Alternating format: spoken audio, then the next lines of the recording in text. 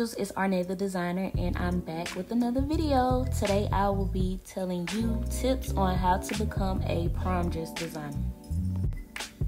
Above anything else, you must put God first. Prayer gonna get you everywhere, everywhere that He intends for you to be. Okay? Amen. Amen. You must trust in yourself and have confidence because if you don't believe in what you're doing, how can I believe in you? How can I want to buy into your business if you're not even confident in your own work? Remember, confidence is contagious.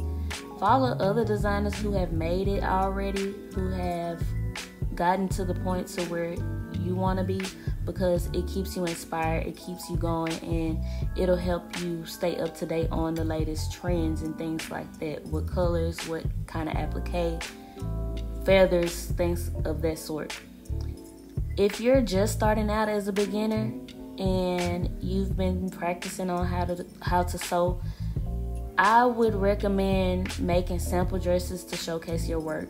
The dress that I'm making in this video was my sample dress. I took pictures in it, I made a flyer, and I promoted it. And I didn't think it would do anything, but my consistency paid off because overall, by the time the season ended, I touched at least five prom dresses. Use affordable fabric to practice with.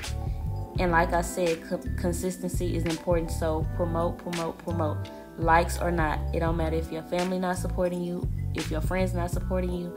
You be your biggest cheerleader. You believe in yourself and you promote. Start months in advance. Start ahead of the season because you can't be taking last minute orders unless you know for sure you can handle it. I just don't recommend it.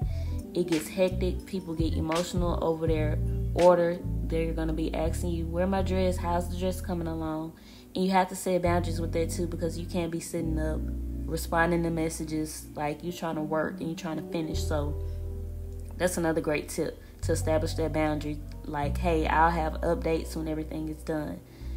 You'll need to know how to measure properly and you'll need to know how to use patterns. I can't go over that in this video, but there will be some on YouTube. But if you want me to make a video of that, just let me know.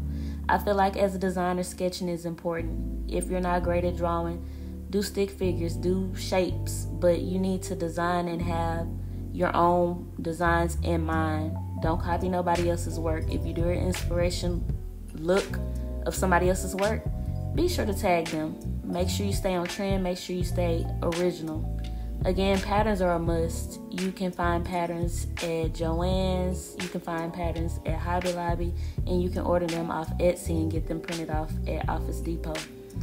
When you're talking to clients and they're asking questions, the best way to give them a quote is to add up all the cost of the supplies, things like shipping and packaging and taxes.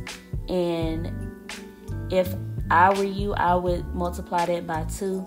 So that way, half of the total can be toward your pocket, and then the rest is for the supplies you need to make the dress. Don't be hard on yourself. Give yourself time. Greatness don't happen overnight.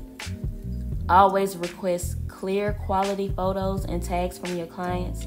Have consistent branding. Be organized and make sure you have a booking site. I know this is a quick, short video, but if you need anything elaborated on further, just let me know in the comments below. The main takeaway is you don't have to be perfect and you don't have to have a whole lot of money. Just start with what you have. Your faith don't even have to be a whole lot, but if you got a little bit, it's gonna get you somewhere. Trust and believe me. I'll be your cheerleader throughout the whole process. Hopefully, I can see your work for prom 2024. Just tag me, sis, and I'll hype you up, period. Be sure to add me on Facebook and Instagram at Arnett Atelier. I follow back. Thanks for watching.